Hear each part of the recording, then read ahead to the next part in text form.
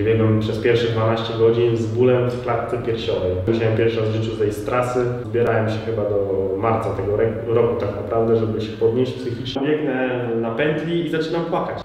Yy, Tak naprawdę zamknąłem oko na 5 minut na przystole i poszedłem biegać dalej, nie? Bo pierwszy maraton wymyśliłem po narodzinach córki. E, Przyjechałem do szpitala, no i mówię, no to wszystko ok, ale ja muszę, muszę jechać, muszę jechać, bo mam te zawody dzisiaj, nie? No i ja taki niewyspany i w ogóle nieogarnięty pojechałem na to pierwsze ultra. No i, ale byłem taki mega zmotywowany i zdenerwowany, że one tam są w tym szpitalu, że muszę szybko wracać. Udało mi się te 100 km, tam 12 godzin 32 minuty. I ten, i wróciłem do domu, do tego szpitala, pamiętam, z tym medalem do, tego, do, do Kai i Nie. dałem jej ten medal do, do tej wanienki, w której dzie- dziecko leży w szpitalu, no i tak się czułem mega spełniony, aczkolwiek dotarcie do szpitala to była masakra, bo po tym pierwszym ultra to w ogóle chodzić nie mogłem. I nie potrafiłem nawet wyjść z samochodu, jak nich jechałem, nie? bo mnie tak nogi bolały i wszystkie stawy. A w ogóle, co jest najbardziej... Co jest najlepsze, to ja mam tak, że jak biegnę już, nie wiem, 40 godzin, czy 45, czy ileś, to pomyślę sobie o czymś, albo pomyślę sobie o, o żonie, dzieciach, to ym, jestem już tak wtedy wypruty fizycznie i chyba psychicznie, że, że zaczynam płakać, nie? Autentycznie. Idę i albo, albo, nie wiem, podchodzę pod górę, albo biegnę na pętli i zaczynam płakać, nie? I się zastanawiam, czy ktoś to widzi mnie, bo, bo nic w sumie nic się nie stało, a ja płaczę, nie? Witajcie, nazywam się Bartek Korzecki, a ze mną jest człowiek, który przebiegł 308 km, czyli Krystian Michalski. Cześć. 308, tak, to ja. 308 i 206 metrów. Tak jest. Jak ty to zrobiłeś? W 48 godzin. Bo te 308 km to jest najdłuższy dystans, jaki w ogóle przebiegłeś. Na ten moment tak. Za jednym razem. Za jednym włączeniem zegarka, który mierzy No, dystans. no. 308. No, no, no. Tak. E, czyli nawet na treningach nigdzie nie robiłeś takich dystansów. Nie robi się na No treningu. właśnie mnie to zastanawia, bo e, wychodzisz tam i biegniesz 308, ale na treningach biegasz 10-15, tak?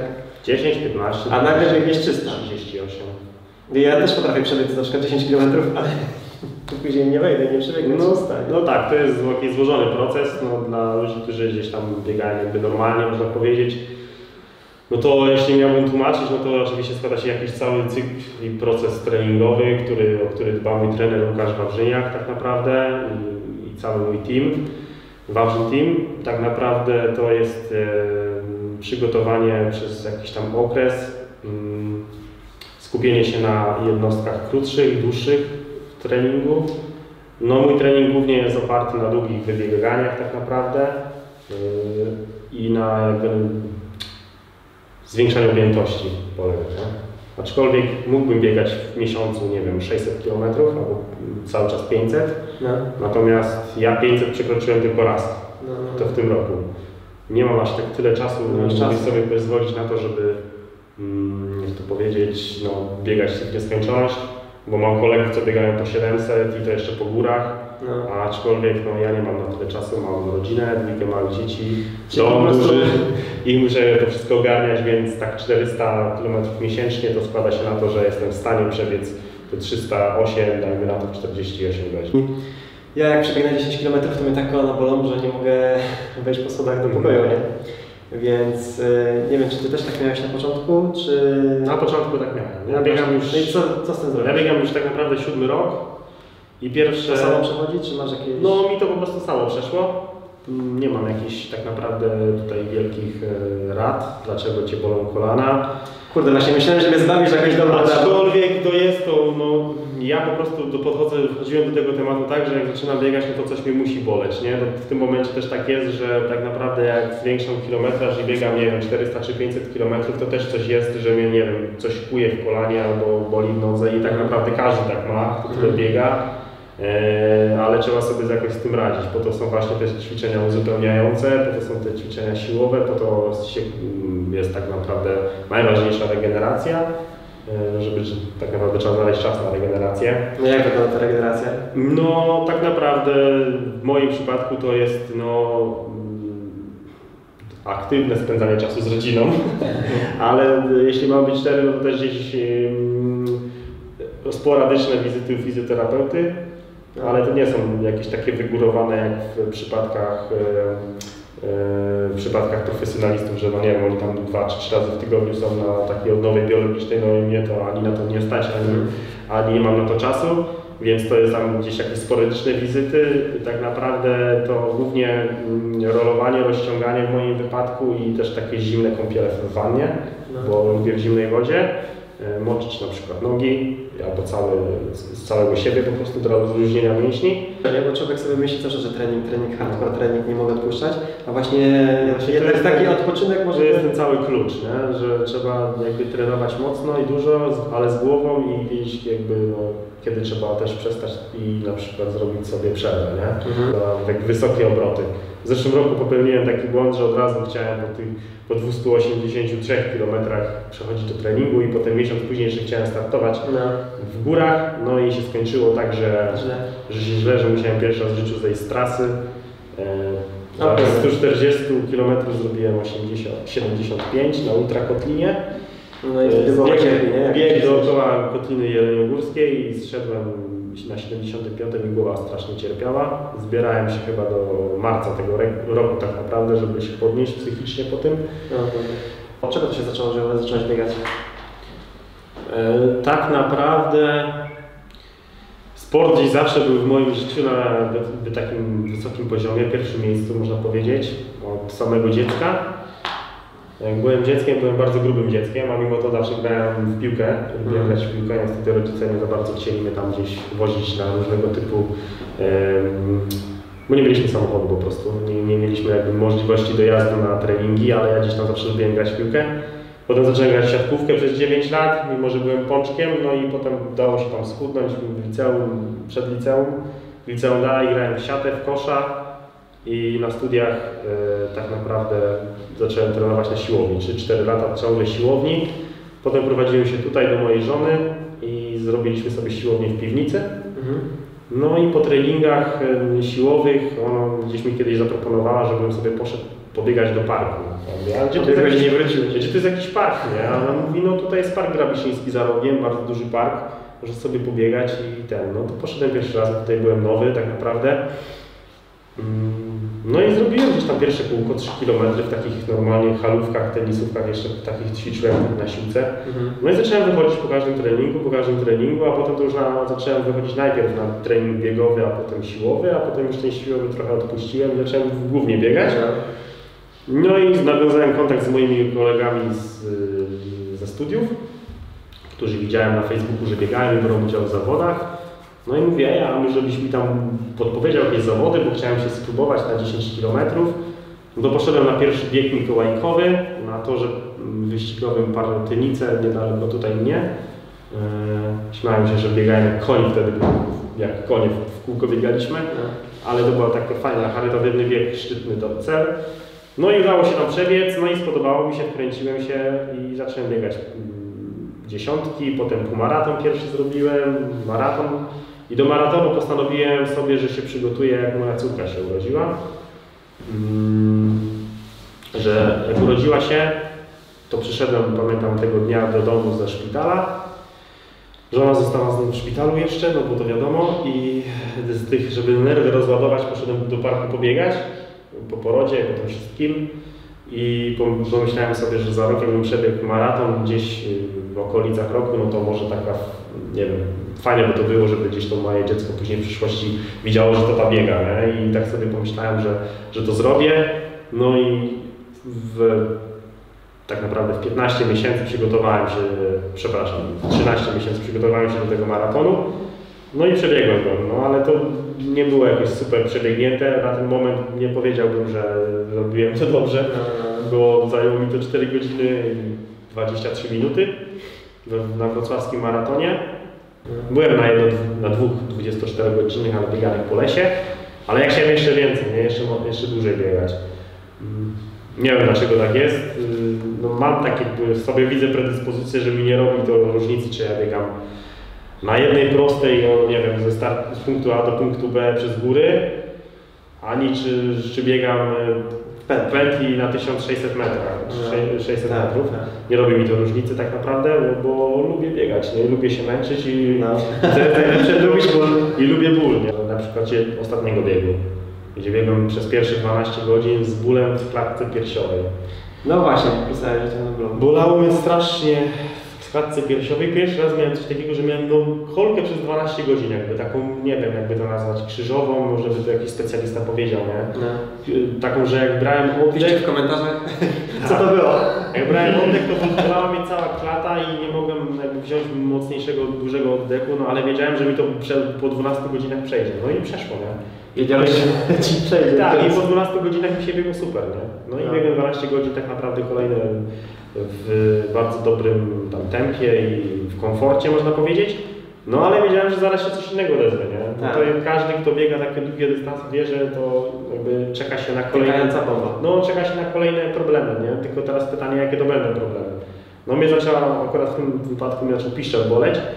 Mm, też nie wiem dlaczego, bo myślałem, że stopy mi będą boleć, bo z tym miałem problem ostatnio z rozcięgiem podeszwowym i czekałem tak naprawdę na pierwsze 8 godzin, czy mi się uda Tak. kończyć. No i wiedziałem, że jak 8 godzin minęło, to już muszę skończyć całe 48, że się ten ból nie pojawi, natomiast pojawił się w piszczelu. Mm, No ale tam dałem radę, nie? Tam popsikałem sobie jakimś lodem, jakimś tam wodą, Czy czy tam później w trakcie cały czas tylko ten cukier, czy jakieś jeszcze posiłki? No normalne posiłki się je na takich zawodach. Zup, zupa, rosół, pierogi, takie inne rzeczy, nie? Nie dasz rady zjeść na samym cukrze przebyć tak długich dystansów, dlatego mój, moje możliwości jakby treningowe, na przykład wychodzenia po obiedzie od razu do trening, też mi się podobają, bo mogę to trenować przed zawodami już. Bo na takich długich zawodach, tak jak mówię, je się normalne rzeczy, nie? No. E, A ile się śpi? To już zależy od Ciebie, nie? Im mniej śpisz, tym masz lepszy... czy dłużej? Ech, Godzinę chyba, tak. 47 godzin To było tak, że jak zamknąłeś, to nie mogłeś, Nie, nie, nie mogłeś wstać? Nie, to nie, nie jest Czy, tak. czy nawet nie mogłeś za bardzo zasnąć? Nie mogłem zasnąć, nie? Nie mogłem Też zasnąć. właśnie myślałem, że... Ja miałem taki plan na ten w tym roku, że tak naprawdę 12 godzin nie robię żadnej przerwy, nie siadam, nie piję nic, nie wiem, na siedząco, tylko po prostu dochodzę do supportu, jem, jem tak naprawdę na, na stojąco, a bądź w biegu. Po 12 godzinach chciałem zrobić 100 km, to się udało i dopiero podszedłem do supportu, usiadłem, zjadłem coś ciepłego, wypiłem kawę. Yy, Tak naprawdę zamknąłem oko na 5 minut na przy stole i poszedłem biegać dalej, nie? Ale są oczywiście różne metody, bo niektórzy chodzą, nie wiem, co 5 godzin na jakąś małą, na małą przerwę, No. co 12 godzin, no, no to zależy już od, od zawodnika, nie? Bo niektórzy po prostu nie schodzą i się tam cały czas męczą, a niektórzy po prostu wolą zejść e, po jakimś tam e, czasie i odpocząć porządnie i dopiero potem wrócić i na przykład mają więcej siły, nie? No ale niektórzy schodzą spać i już nie wracają. Tam wspomniałeś o jednej osobie, którą się inspirujesz, którą oglądasz na YouTubie, a są jeszcze jakieś inne, które gdzieś tam bardziej może z rozwoju osobistego, które gdzieś tam Cię motywują, czy tylko gdzieś tam sobie tych sportowców e, oglądasz? których- Znaczy mnie najbardziej, nie, teraz można powiedzieć, jak jest, wracam po roztrenowaniu treningów, najbardziej motywuje mnie mój ogólnie zespół, do którego należę, mój team, No. Wawrzyn Team, e, bo codziennie tak naprawdę jesteśmy tak, grupą ludzi na tym samym, można powiedzieć, poziomie społecznym. E, Każdy z nas ma różne cele biegowe, mm, ale każdy z nas e, je jakby na swój sposób osiąga. I jakby praca każdego z nas motywuje nas nawzajem do tego, że, że wychodzimy trenować. Nie? Tak samo naszym jakby no, mm, trenerem jest Łukasz, który też normalnie pracuje, który normalnie też odnosi sukcesy w biegach górskich i tak dalej. E, Żaden z nas nie jest jakoś e, super, nie wiem, gwiazdą, ani Mhm. nie ma jakichś takich, nie wiadomo, jakichś spektakularnych, nie wiem, mistrzostw Polski nie osiąga, ani nic w tym stylu. Natomiast każdy z nas jest normalny, ma rodzinę, dzieci i tak dalej i każdy z nas potrafi znaleźć czas na trenowanie i takie osoby mnie najbardziej Mhm, mhm. e, inspirują, nie? One mają podobne rzeczy do Tak, Twojego i to sobie mnie- myślisz, że skoro oni dają Tak, radę, i to mnie też- inspiruje i to na pewno działa na w większości naszych ludzi w naszym teamie podobnie, ponieważ każdy z nas jest podobny i ma podobne jakby problemy i podobne jakby życie, więc to nas Tak, motywuje. tak. Mnie generalnie to na pewno motywuje, podejrzewam, że ich też. No. I jeśli szukam, czy szukam, no nie szukam jakichś e, na siłę motywatorów, ale jak gdzieś kogoś, nie wiem, widzę na, nie wiem, Instagramie czy coś, no to takie osoby mnie motywują. Nie motywuje mnie profesjonalista, który jego, którego Aha. pracą jest, nie wiem, bieganie bądź uprawianie triatlonu na jakimś tam ten, bo to by bardziej mnie dołowało niż, No, niż to motywowało. Bo dlaczego ja, co ja źle w życiu zrobiłem, że on może, y, że ja nie mogę poświęcić tyle czasu na coś, co kocham, a on to może robić. Nie? To by bardziej mnie demotywowało, demotywowało niż e, motywowało. mhm. Więc ja szukam motywacji w lu- ludziach, którzy są koło mnie tak naprawdę, nie? No i mi się właśnie wydaje, że to będzie taką e, motywacją dla osób, które to oglądają, ponieważ one sobie myślą, że też mają podobne życie, chodzą do pracy, mają rodziny No tak. i też mogą wstać, założyć buty Tak, i może, tak może tak być. Na swoich tam kanałach, na Instagramie czy na swoim blogu Zabiegany Fit Tata, no też staram się być taki w miarę mm, jak jestem, czyli no pokazywać, że no nie zawsze jest super generalnie i że jak czasami jest ciężko, czy nawet jak teraz jest taki okres, że, ciężko, że no jakby nie było też czasu na trenowanie i ten, no to też o tym mówię i nie ściemniam, że generalnie trenuję codziennie, a tak naprawdę nie trenuję, bo tak nie jest. Tylko yy, w, życiu jest na wszystko czas i generalnie trzeba to też pokazywać, No, jeśli się chce, oczywiście. Więc to jest No i fajnie, mega fajnie. No dużo społeczeństwa teraz mi się wydaje, że lubi taki content bardziej rozrywkowy niż takie wychodzenie ze strefy komfortu i robienie coś ze swoim życiem, No. Też tak jest. Też tak jest. Bo to jest właśnie trudne, bo to trzeba właśnie wyjść z tej strefy komfortu i robić właśnie coś trudnego, nie? Czego się nie lubi, albo czego się nie Tak, chce, no tak. bo właśnie często się nie chce. A to jest w ogóle też ciekawostka, bo ja na przykład biegać to bardzo nie lubiłem. No. No, Tylko właśnie tak jak mówiłem, wcześniej grałem tam w siatkówkę, w koszykówkę i na siłkę chodziłem, no. ale bieganie to tak nie bardzo, nie? I No. dopiero ja zacząłem biegać, bo tego nie lubiłem. I często tak jest właśnie, nie? I Ja mam generalnie coś takiego, że w życiu robię coś, czego nie lubię, nie? Po to, No. żeby to po, polubić, nie? Na Tak. przykład jak na siłowni trenowałem, no to nigdy nie lubiłem klatki piersiowej ćwiczyć, bo byłem słaby, Mhm. ale tak katowałem i tak samo nogi, że potem czasem byłem najlepszy na tym, nie? Dla siebie najlepszy, nie? Mhm. No i tak z tym bieganiem tak samo było, że nie lubiłem biegać, bo mnie to nudziło, czy tam bo dużo ludzi nudzi na początku. No i nudziło mnie tak, że teraz biegam tak dużo, że mnie to już nie nudzi, nie? No, lubisz to robić, nie? Mhm. No ja lubię tak robić, lubię w sumie zbudować coś od zera, właśnie lubię robić coś, czego nie lubiłem. Lubię potem zbierać tego jakieś owoce, najlepiej na zawodach, jeśli mi się coś Tak. uda. No ale niekoniecznie to muszą być zawody, nie? Jak był COVID i taki, że nie było żadnych zawodów, taki twardy, no to też miałem zadanie od trenera iść, przebiegnij kilometr, 3 km najszybciej jak potrafisz. No i też to szedłem i robiłem i to było mega, mega fascynujące dla mnie, że kurczę bez zawodów potrafiłem się zebrać sam i nie musiałem nikogo gonić, a udało mi się tam jakiś czas pobić, Mhm. nie? No i spokojnie, jak jest cel, no to jesteś skupiony na nim i to robisz.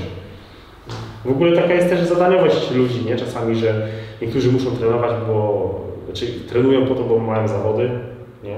Ja nie, w sumie nie potrzebuję tre, trenować tylko pod zawody, nie? Ja po prostu lubię trenować, bo, bo, bo po prostu lubię, nie? Bo się lubię zmęczyć, nie? No, no, no. Lubię przychodzić taki styrany, lubię jak mnie bolą nogi po treningu, lubię jak mam mega zakwasy, bo potem wiem, że one mijają, nie? I, i że za jakiś czas będzie, już ich nie będę miał, nie? Albo Mhm. będę, nie wiem, te, te dąsy będą już mniejsze na przykład w tych mięśniach. Ale robisz to po to, żeby, żeby mieć formę, energię, sylwetkę, czy No po, trochę to? po, to wszystko po trochu i tak naprawdę ja się źle czuję, jak nic nie robię, nie? Mhm, mhm. Teraz przez te 6 tygodni, ostatnie 3, gdzie miałem kontuzję, 3, gdzie miałem remont w domu, czy 4, to, no to ja teraz generalnie czułem się bardzo źle. Nie? Wiadomo, że fizycznie byłem zmęczony po, po pracy tam fizycznej i tak dalej, ale psychicznie to mm, bardzo się na mnie to duży e, oddziałuje bardzo mocno, że ja nie mogę jakby się wybiegać. No, ja potrzebuję jak pies albo koń, nie? muszę iść się po prostu wybiegać, bo, y, bo się źle czuję. Nie? No. Mam pracę taką umysłową, można to powiedzieć, nerwową dosyć. I jak ja się nie wybiegam, to potem też w domu jestem nerwowy i wiesz, i dla dzieci czy tam dla żony jestem nie za bardzo, więc ja już wolę iść tam sobie polatać sam ze sobą, mi tam nie wiem, przeszkadza, że biegam w kółko w parku czy gdziekolwiek. Ja to w ogóle bym chciał sobie kupić bieżnię w domu i patrzeć się tylko w ścianę i biegać, bo też mi to nie robi różnicy. Mhm. Ale no muszę to zrobić, bo źle się czuję. No.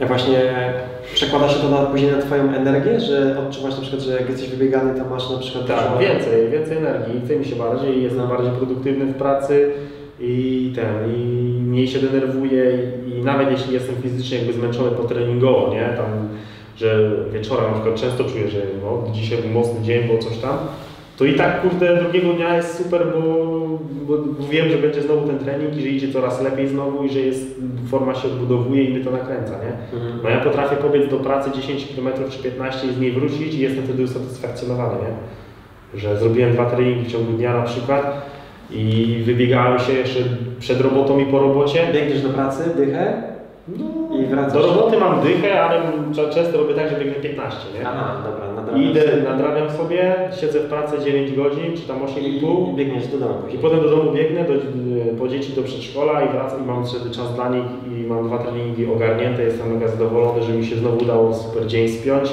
i mam dużo kilometrów w nogach i to mi przyniesie korzyść gdzieś tam i mnie to jara, nie? I wtedy mogę, nie wiem, z nimi spędzać czas, mogę jechać po żonę do pracy, co praktycznie też często robię. No i Kurczę, i tak ludzie tracą czas na dojazd do pracy, na, na czas, tracą czas na, do, na tak, powrót. mieszkając w tym czasie biegniesz mieszkając w Wrocławiu jest to, jest to, No właśnie, w dużym mieście. jest to em, jakby taki przywilej korzysty Super dajesz radę, mega mi się to właśnie podobało, to powiedziałeś, że, że biegniesz do pracy i wracasz, że dzieci odbierasz i tak dalej, że wszystko masz załatwione i sobie No, no, tak. coś po drodze, to jest mega moim zdaniem fajne. Tak, bo ja na przykład się denerwuję, jak tego nie, nie zrobię na rano. Na przykład jak już wchodzę w taki rytm, teraz tak będzie, że założę sobie, że będę chciał wstać rano, iść na trening coś i dajmy na to, nie wiem, zaśpię, albo kurde budzika nie usłyszę, Tak. albo mi się nie faktycznie nie będzie chciało wstać, bo coś tam, to potem ja potem cały dzień to przeżywam, że tego nie zrobiłem, nie? I potem muszę kombinować, no, bo mam dwójkę dzieci, kto mi na przykład z dziećmi zostanie wieczór po południu, nie? Jeżeli nie ma, nie? To musiałbym się babci pytać, czy zostanie. No, to Tak. nie zawsze chcę, bo tam coś też ma do załatwienia. No, no, no. No, a też z dziećmi też trzeba czas spędzać. No to ja już wolę to rano ogarnąć, niż po południu No tak. potem denerwować, że, że tego nie zrobię, nie? A czas na spanie? No i, no i spanie też, nie? No to wtedy Ale nie wiesz... 8 godzin wejdzie, czy mniej? Nie, 8 godzin nie śpię już na pewno. Teraz już są dzieci troszeczkę starsze, więc już tak nie budzą się nocami, natomiast y, no największe tak by... 6-7 godzin? No 6 godzin teraz tak śpię, 7, nie? Max. No 6 głównie. No. Głównie 6, ale no wiem, że parę lat temu, jak właśnie się dzieci urodziły, córki, no to początek to był hardkorowy, no bo nie spałem praktycznie nic. Ja jeszcze wtedy zwiększałem objętości treningowe, bo chciałem do tego ultra pierwszego się No. przygotowywać, bo to jest w ogóle ciekawsza historia. Bo pierwszy maraton wymyśliłem po narodzinach córki, Blanki, jak wróciłem do domu, no i przez rok się przygotowałem, a pierwszy ultramaraton miałem zaplanowany w okolicach narodzin mojej drugiej córki, nie? Czyli tam rok później, czy dwa lata później, to, sorry, dwa lata później to było. Więc moja żona udała się szybciej do szpitala, niestety, z różnych tam względów Mhm. i urodziła wcześniej. No. I ja przy, jakby no, urodziło nam się drugie dziecko. E, przyjechałem do szpitala, no i mówię, no to wszystko ok, ale ja muszę, muszę jechać, muszę jechać, bo mam te zawody dzisiaj, nie? No i ja taki niewyspany i w ogóle nieogarnięty pojechałem na to pierwsze ultra. No i, ale byłem taki mega zmotywowany i zdenerwowany, że one tam są w tym szpitalu, że No. muszę szybko wracać. I w ogóle musisz szybko biec. no i udało mi się te 100 km tam w 2 godziny 30 minut zrobić, czy 2, 12 godzin 32 minuty, jakoś tak 100 km na sudeckiej setce. E, I ten, i wróciłem do domu, do tego szpitala, pamiętam z tym medalem do, tego, do, do Kai i Ja. dałem jej ten medal do, do tego, do tej wanienki, w której dzie- dziecko leży w szpitalu, no i tak się czułem mega spełniony, aczkolwiek dotarcie do szpitala to była masakra, bo po tym pierwszym ultra to w ogóle chodzić nie mogłem. No. I nie potrafiłem nawet wyjść z samochodu, jak nich jechałem, nie? bo mnie tak nogi bolały i wszystkie stawy, że... No bo to był pierwszy raz, nie? Coś takiego. Nie? Teraz już nie mam takich... Znaczy też mi bolą nogi, nie?